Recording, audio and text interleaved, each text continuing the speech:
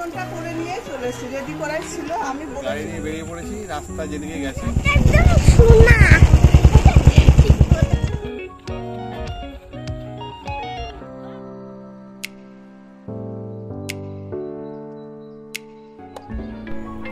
নমস্কার বন্ধুরা রকমারি ভুরিভোজের তরফ থেকে আপনাদের সকলকে স্বাগত জানিয়ে আমি শুরু করছি আজকে নতুন ব্লগ। আর আজকে ব্লগটা আমি দুপুর থেকে শুরু করলাম। এখন বাজে দুপুর দুটো। তো এখন আমরা একটু বেরোবো। আর আজ আপনাদের সাথে দারুণ একটা জিনিস শেয়ার করার আছে। মা পুজোর মধ্যে একটা সোনার জিনিস বানিয়েছে, তো সেটা আপনাদের সাথে শেয়ার করা হয়নি। তো সেটাই আজ আপনাদের সাথে শেয়ার করব। তো সঙ্গে থাকুন, পুরো ভিডিওটা দেখতে থাকুন। আশা করি আজকের ভিডিও আপনাদের ভীষণ ভালো লাগবে। আজ তো লক্ষ্মী পুজো, কিন্তু আমরা পুজো না করে আলপনা না দিয়ে সারাদিন এটা ওটা অন্য কাজ করছি। অন্য কাজ করতে ব্যস্ত। তো যে এখন চলে এসেছি বাগানের এই দিকটাতে। আর এই দিকটাতে জায়গা দেখছি যে কতগুলো ফুল গাছ লাগানো যাবে বা কোথায় কোথায় লাগাবো, এসব এসব দেখছি। তো এখন আমরা যাব ফুল গাছ আনতে। তো সেই জন্যই আরও দেখা যে কোথায় লাগাবো, কোন ফুল গাছটা লাগাবো। আর শীত আসতে তো খুব বেশি দেরি নেই। কালী পুজোর মধ্যে মনে হচ্ছে ঠান্ডাটা পড়ে যাবে, তো সেই জন্য যেগুলো, যেই ফুল গাছগুলো আগে আগে এনে লাগানোর দরকার, সেই ফুল গাছগুলো এখন আপাতত এনে লাগিয়ে দেব। আর বাকি শীতের ফুল গাছগুলো কিছুদিন পর নিয়ে আসব। আর এবার লক্ষ্মী পুজো বাড়িতে কেন করলাম না, আলপনা কেন দিলাম না, সবটাই আপনাদের সাথে শেয়ার করব কিছুক্ষণ পর। আর ওই জন্য মনটা খুব একটা ভালো নেই যে বাড়িতে, সবাই বাড়িতে লক্ষ্মী পুজো হচ্ছে। আর লক্ষ্মী পুজোটা এমন পুজো না মানে প্রত্যেক বাড়িতে বাড়িতে হয়, আর আমাদের বাড়িতে হচ্ছে না সেই জন্য ভালো লাগছে না। তো যাই হোক, আমরা এখন ফুল গাছ আনতে যাচ্ছি। তো চলুন আমাদের সাথে। এই যে, মাম্মাম গাড়িতে উঠে একদম রেডি আর মনে হচ্ছে আমাকে নেবেই না।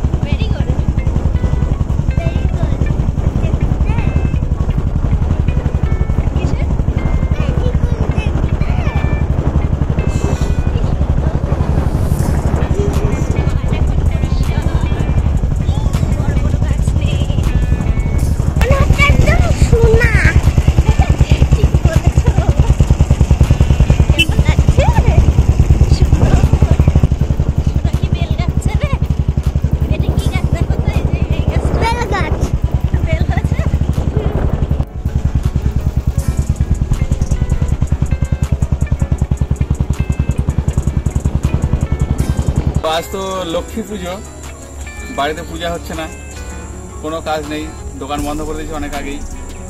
তো বাড়িতে এসে মনটা খারাপ লাগছিল, তো আমি বললাম, চলো ঘুরে আসি। ও বলো তাহলে ঘুরতে যাব, যে একবারে ফুল গাড়ির চারাটা নিয়ে আসব। আমি চলো। ঘুরতে বেরিয়েছি, কোন দিকে এসেছি কোনো জানি না। এই এলাকাটার নামও জানি না। গাড়ি নিয়ে বেরিয়ে পড়েছি, রাস্তা যেদিকে গেছে। আমি আজকে একটা নতুন রাস্তা দিয়ে গেছি, মাঠের মধ্যে দিয়ে রাস্তা। তো আমি ওকে বললাম, চলো দেখি রাস্তা শেষ কোথায় হয়েছে? অনেক দূর চলে আছি পাঁচ, ছয় কিলোমিটার চলে আছি কোনো বাড়িঘর, কিচ্ছু নেই, একদম পুরো শুনশান, একদম চুপচাপ, পুরো সাইলেন্ট জন পাঁচ, ছয় কিলোমিটার ক্রস করে দেখি একটা গ্রাম। গ্রামটার মধ্যে ঢুকতে দেখি একটা পাকা রাস্তা। পাকা রাস্তাটা ধরে চলে যাচ্ছে, আরও এগিয়ে যাচ্ছি।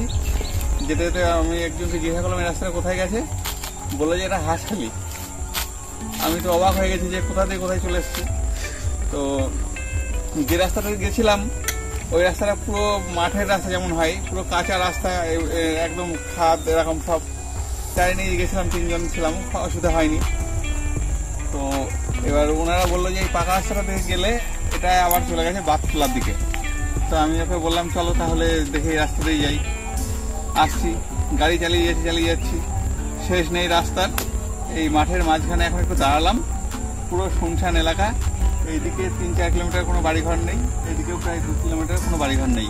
পুরো মাঠের মাঝখানে দাঁড়িয়ে আছি, চারিদিকে চারিদিকে পুরো ধান আর ধান, এই কলা বাগান এখানে একটা এই কদম ফুল গাছ আছে, এই গাছে একটু ছায়া আছে, এই ছায়ার নিচে একটু দাঁড়ালাম। দাঁড়িয়ে একটু রেস্ট করছি, করে আবার আমরা যাব, গিয়ে ফুলের চারাটা নেব, নিয়ে তারপরে বাড়ি এই রাস্তার ধার দিয়ে দেখছি কলাই গাছ লাগিয়ে দিয়েছে। তো এই সময় কলাই ছিটছে বসে বসে। এই রাস্তার দুদিক দিয়ে যতটা জায়গা আছে মানে ফাঁকা রাস্তার পাশে, এই পাশে সবাই যাই কলাই লাগিয়ে দিয়েছে দেখছি। তো কলাই হয়েছে। এটা ভালোই লাগছে দেখতে।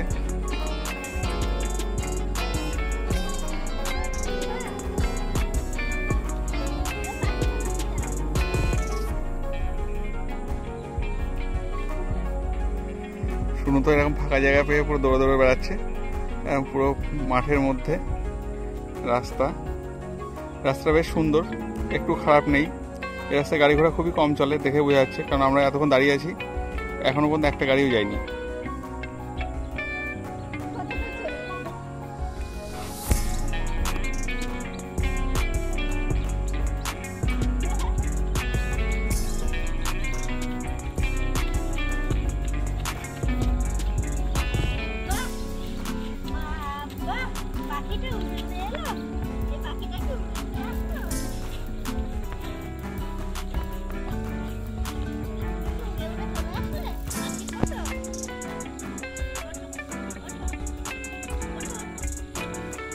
পুরো রাস্তা পরিষ্কার, রাস্তা একদম শুধু এই চাষের জিনিসপত্রই আছে। বাড়ি থেকে বেরোনোর সময় আপনাদেরকে বলেছিলাম যে বাড়িতে কেন লক্ষ্মী পুজো হলো না এবার। তো সেটা আপনাদের সাথে বলব, কেন হলো না? চলে তো তো একবার এদিক, একবার ওদিক করছে। আর আমি যেটা আপনাদেরকে বলছিলাম যে এবার পুজোটা কেন করতে পারলাম না, সেটাই আপনাদেরকে বলব এখন। আমাদের বংশে এক নতুন বেবি হয়েছে। তো সেই জন্য এবার পুজোটা করতে পারলাম না। আমাদের মধ্যে নতুন সদস্য আসলে মানে বেবি হলে কিছুদিন আমাদের আমাদের পুজো আর্চা করতে নেই। ষষ্ঠী পুজো যতদিন না হয়, ততদিন পুজো আর্চা করতে নেই। তো এই সবে হয়েছে, দুই তিন দিন হলো। তো সেই জন্য আমাদের এবার পুজোটা হলো না।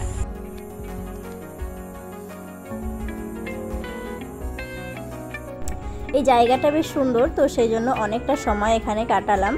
আর এই যে অনেকটা সময় দাঁড়িয়ে থাকতে থাকতে পা ব্যথা হয়ে গেছিল, তো সেই জন্য একটু বসেও পড়লাম। রাস্তার ধারেই ধান ক্ষেত, খুব সুন্দর লাগছে দেখতে।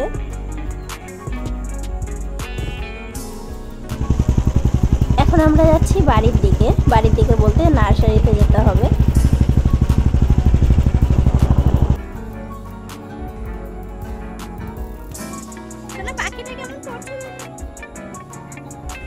যেতে যেতে আবার এখানে দাঁড়িয়ে পড়লাম। এত সুন্দর ফুল ক্ষেত।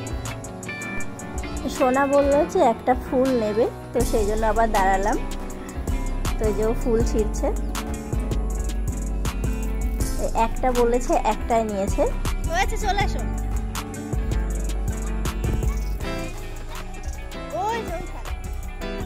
যা।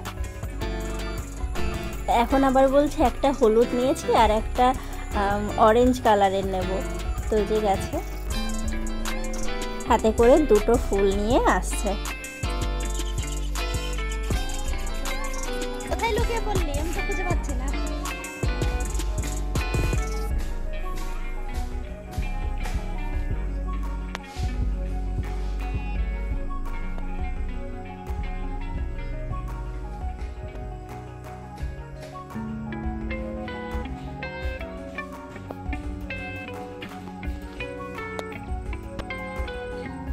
তো আমরা ঘুরতে ঘুরতে চলে এসেছি নার্সারিতে।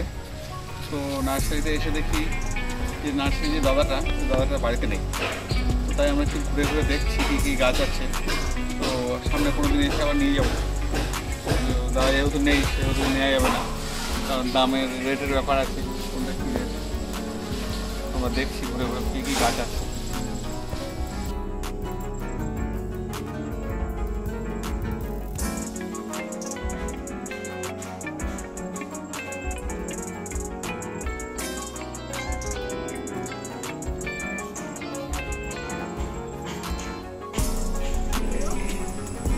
ছোট্ট একটা গাছে কত সবেদা হয়ে আছে।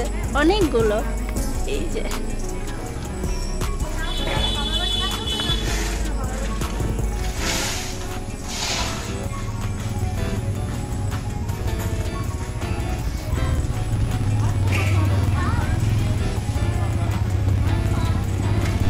এদিকে আবার কমলা লেবু গাছগুলোতেও কি সুন্দর কমলা লেবু হয়ে আছে।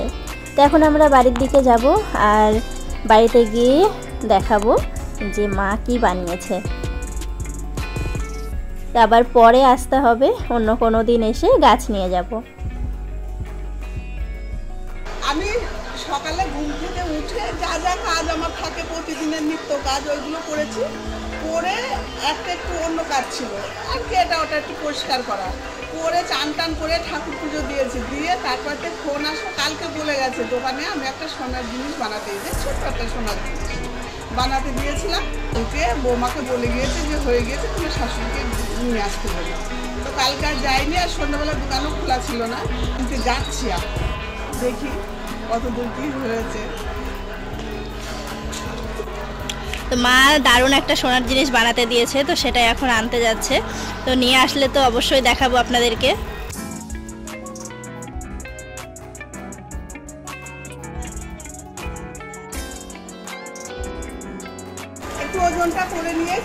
রেডি করাই ছিল। আমি বলেছিলাম যে রেডি করা থাকে যেন আমি এসে নিয়ে চলে আসব। তো যে আমি কানে থেকে কানের দুল দুটো খুলেছি, খুলে একটু দেখেছিলাম ট্রাই করে কেমন লাগছে।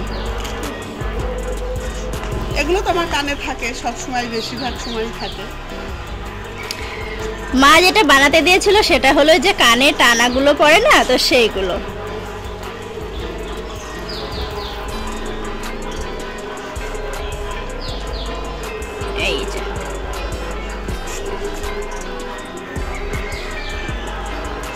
এই দুটো বানাতে দেওয়া ছিল সে অনেক দিন আগে।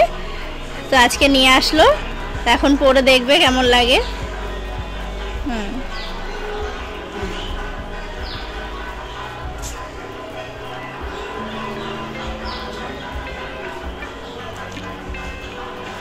তো পুজোর মধ্যে আসলো, ভালোই হয়েছে। হ্যাঁ বলেছিল স্বর্ণকার যে আমি পুজোর আগেই দিয়ে দেবো। তো পুজোর আগে হয়তো হয়ে ওঠেনি, অনেক কাজ থাকে তো। ওই পুজোর যে মাকে পরিয়ে দিয়েছি, টানাগুলো। বেশ ভালোই লাগছে ভালোই লাগছে, কিন্তু আমি মানে এই মাকে প্রথম পড়তে দেখছি তো, একটু কেমন লাগছে? পড়তে পড়তে অভ্যাস হয়ে গেলে তখন আর কিছু মনে হবে না। তো এই যে বেশ ডিজাইনটা ভালোই করেছে, সুন্দরই লাগছে। মায়ের শখ ছিল অনেক দিনের, পূরণ হলো। তাও আবার পুজোর মধ্যে